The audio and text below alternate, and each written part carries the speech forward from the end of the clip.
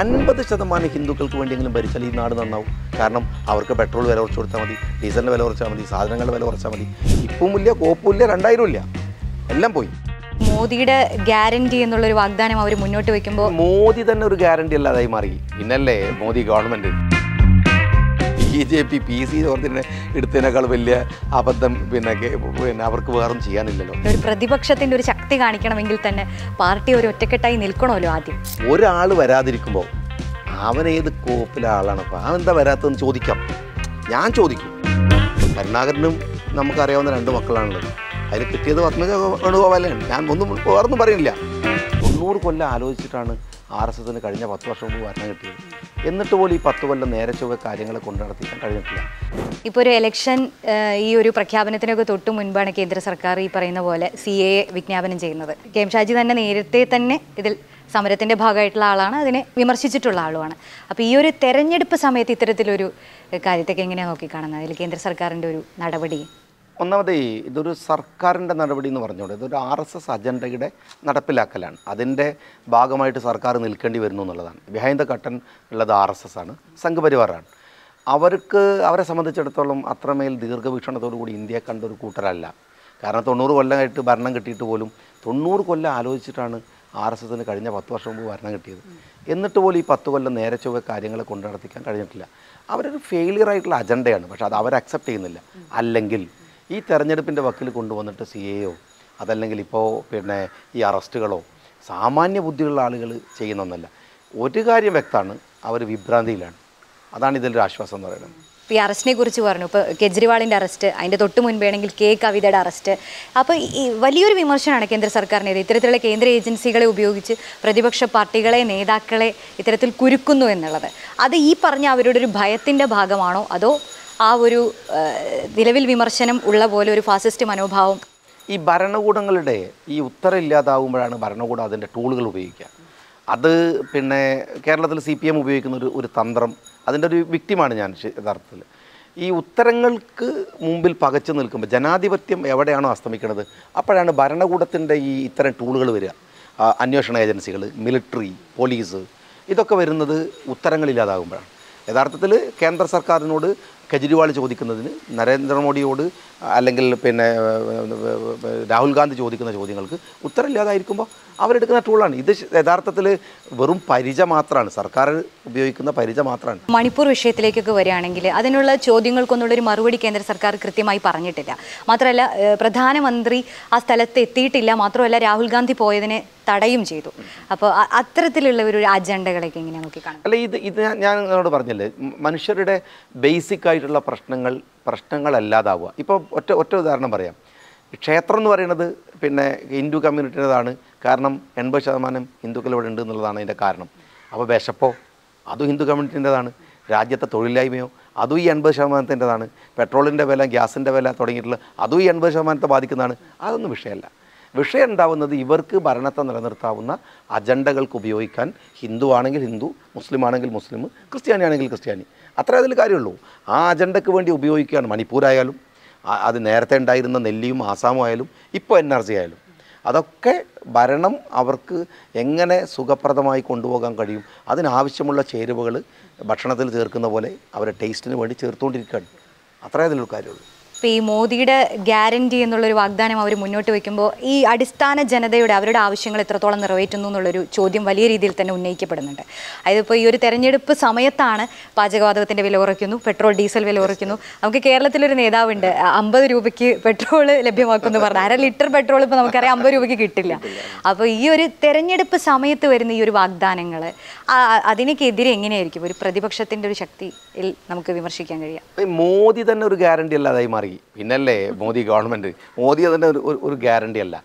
ഇപ്പം ഈ സാധനങ്ങളുടെ വില ഞാൻ നേരത്തെ പറഞ്ഞ അടിസ്ഥാന ഘടകം. ജനങ്ങൾക്ക് വേണ്ടിയാണെങ്കിൽ അവർ ഭരിക്കേണ്ടത് എൺപത് ശതമാനം ഹിന്ദു കമ്മ്യൂണിറ്റിക്ക് വേണ്ടി തന്നെയാണ്. കാരണം അത് ഞാൻ ഹിന്ദു എന്നുള്ളവർക്ക് അവർ പറയുന്നതുകൊണ്ട് പറയാൻ. ദാറ്റ് മീൻസ് എൺപത് ശതമാനത്തിന് വേണ്ടി ഭരിക്കേണ്ട. അൻപത് ശതമാനം ഹിന്ദുക്കൾക്ക് വേണ്ടിയെങ്കിലും ഭരിച്ചാൽ ഈ നാട് നന്നാവും. കാരണം അവർക്ക് പെട്രോൾ വില കുറച്ച് കൊടുത്താൽ മതി ഡീസലിന്റെ വില കുറച്ചാൽ മതി സാധനങ്ങളുടെ വില കുറച്ചാൽ മതി.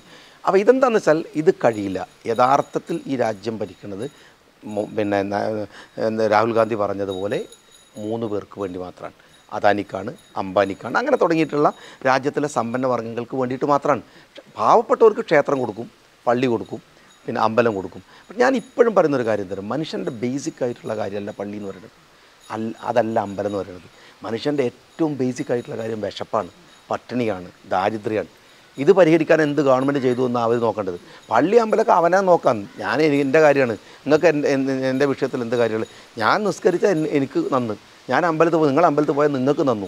അല്ലാതെ അത് രാജ്യത്തിന്റെ വിഷയമാണ് നാട്ടിന്റെ വിഷയമാണ് അല്ലല്ലോ ഓരോരുത്തരുടെ വിശ്വാസം പക്ഷേ വിശപ്പതല്ല.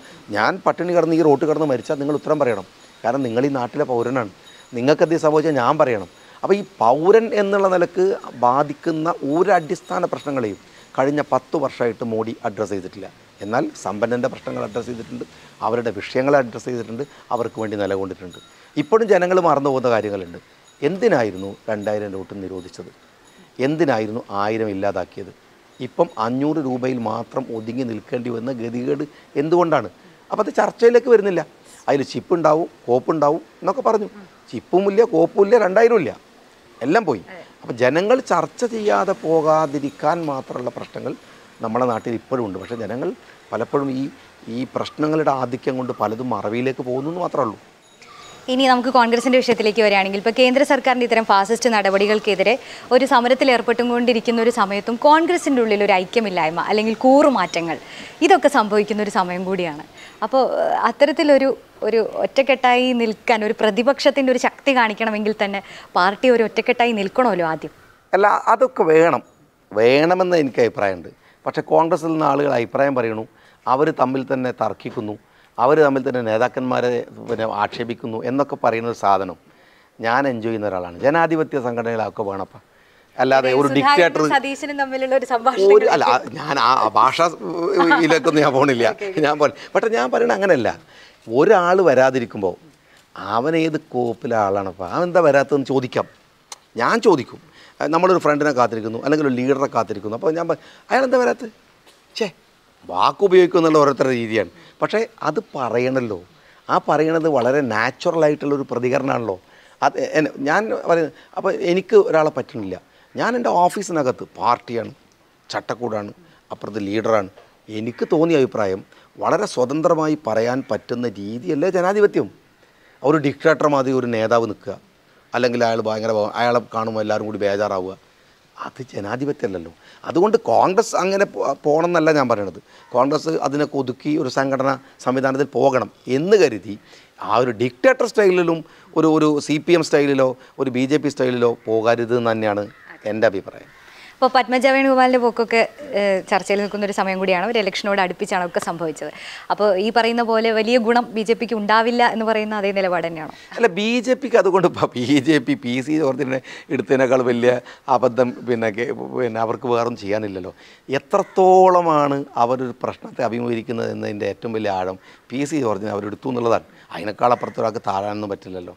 ഒരു പാർട്ടിക്കും താഴാൻ പറ്റില്ല. അപ്പോൾ അത് സംഭവിച്ചു കഴിഞ്ഞാൽ പിന്നെ പിന്നെ പത്മജ വേണുഗോപാൽ കരുണാകരനും നമുക്കറിയാവുന്ന രണ്ട് മക്കളാണുള്ളത്. അതിൽ കിട്ടിയത് പത്മജ വേണുഗോപാലാണ് ഞാൻ ഒന്നും വേറൊന്നും പറയുന്നില്ല. അവർ കൊണ്ടുപോയത് മുരളിയാണെങ്കിൽ എന്ന് നമുക്ക് വിചാരിക്കായിരുന്നു. കൊണ്ടുപോയത് പിന്നെ കോൺഗ്രസ് തന്നെ ഒരുപാട് പരീക്ഷിച്ച് ക്ഷീണിച്ചിരിക്കുന്ന ഒരാളെയാണ് അവർ കൊണ്ടുപോയിരിക്കുന്നത്. അതൊന്നും കേരള രാഷ്ട്രീയത്തിൽ ആ തരത്തിലൊരു ചലനം ഉണ്ടാക്കുക. കേരളത്തിലെ അത്ര മികച്ച പിന്നെ എന്താണ് പിന്നെ സാംസ്കാരിക പ്രതിരോധം രാഷ്ട്രീയ പ്രതിരോധം നടത്തുന്ന ആളാണ് കേരളം എന്നായി അഭിപ്രായം ഇരിക്കില്ല കുറേയൊക്കെ നമ്മൾ ജാട കൊണ്ട് പിടിച്ചിരിക്കുക എന്ന് മാത്രമേ ഉള്ളൂ. ഉള്ളു വളരെ ദുർബലം തന്നെയാണ്. പിന്നെ ഉള്ളിലെ ഒരു നമ്മളുടെ ഒരു കമ്മ്യൂണൽ മൈൻഡും വളരെ പിന്നെ മോശമൊക്കെ തന്നെയാണ്. പക്ഷേ എന്നാൽ പോലും ഞാൻ പറയാം ഇതൊന്നും ചിലവാകുന്ന ആയുധങ്ങളല്ല. ബി ജെ പി പിന്നെ പിന്നെ ഞാൻ ചോദിക്കുന്നത് എനിക്ക് സി കെ പത്മനാഭനൊക്കെ ആയിട്ട് എന്റെ കോൺഷ്യൻസിലായിരുന്നു മൂപ്പരൊക്കെ ഉണ്ടായിരുന്നു. ബി ജെ പിയുടെ നേതാവാണ്. എനിക്കൊക്കെ ഓർമ്മ വെച്ച കാലത്ത് അയാളുടെ പിന്നെ വീതിയുള്ള നെറ്റിയും ബി ജെ പിയിലെ ഒരു ആചാനബാഹുവായിട്ടുള്ള ലീഡർഷിപ്പൊക്കെയാണ് പിന്നെ സി കെ പിക്കൊക്കെ ഉണ്ടായിരുന്നത്. ആ സി കെ പി എവിടെയുള്ള അദ്ദേഹം നിരാശനായിട്ട് സംസാരിക്കുന്നത് നിങ്ങൾ കേട്ടു. കുറേ പാവങ്ങൾ ബി ജെ പിക്ക് കേന്ദ്രത്തിലും കേരളത്തിലും അധികാരമില്ലാത്തപ്പോൾ കഷ്ടപ്പെട്ട് മുദ്രാവാക്യം വിളിച്ച എന്താണ് ഒരു ഐഡിയോളജിന്റെ പേരിലല്ലേ അവരൊക്കെ നിന്ന്? അവരവിടെ? ഇപ്പോൾ കുറേ എണ്ണം വന്ന് പി സി ജോർജും പത്മജൊക്കെ വന്ന് അവരുടെ മുകളിൽ കയറി ഇരിക്കുകയാണ് ഇതെവിടെ എത്താൻ പോകുന്നില്ല ഒന്നാമത് ഇതൊരു ഐഡിയൽ സ്ട്രാറ്റജി അല്ല ഒന്നാമത് ഇതൊരു ഐഡിയൽ റെമഡിയും അല്ല അതുകൊണ്ട് തന്നെ ഇത് അത്ര സക്സസ് ആവും ഇല്ല എന്ന് തന്നെയാണ് എന്റെ ഉറച്ച വിശ്വാസം.